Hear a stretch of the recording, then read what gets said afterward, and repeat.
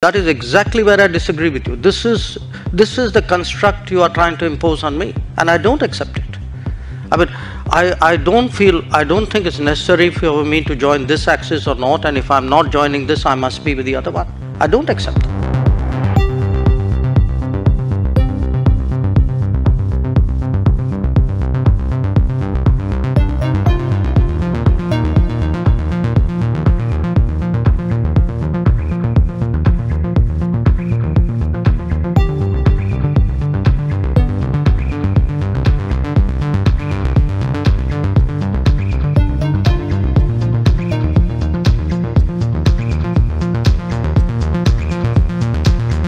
I don't think we're sitting on the fence just because I don't agree with you.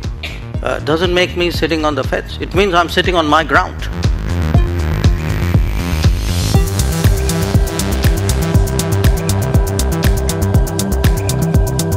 If I were to take Europe collectively, which has been singularly silent on many things which were happening, for example, in Asia, you could ask why would anybody in Asia trust Europe on anything at all? A lot of things are happening outside Europe.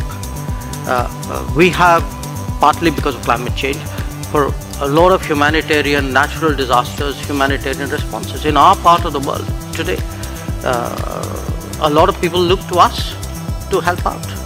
The days when they expected Europe to come, which Europe did at the 2004 tsunami, the difference today is nobody's even thinking of that anymore. So the world is changing, new players are coming, new capabilities are coming, but a new agenda must come.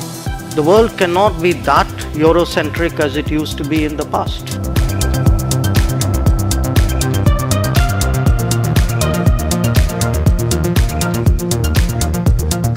You know, somewhere Europe has to grow out of the mindset that Europe's problems are the world's problems. But the world's problems are not Europe's problems.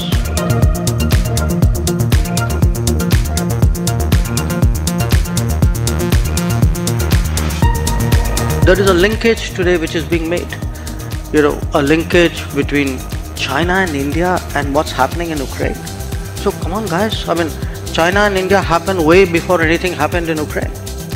So the Chinese don't need a precedent somewhere else in the world on how to, you know, engage us or not engage us or be difficult with us or not be difficult with us. So I, I as I said, I mean I just see this as frankly a not very clever argument, a very self-serving one.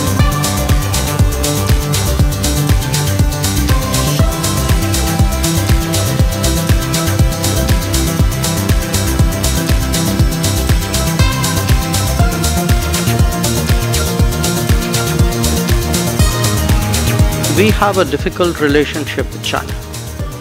We're perfectly capable of managing it. It's uh, if if uh, I get global uh, understanding and support, obviously it is of help to me. But this idea that I do a transaction, that I come in in one conflict because it will help me in conflict two, that's not how the world works. Uh, so a lot of our problems in China have nothing to do with Ukraine, have nothing to do with Russia. They predate it.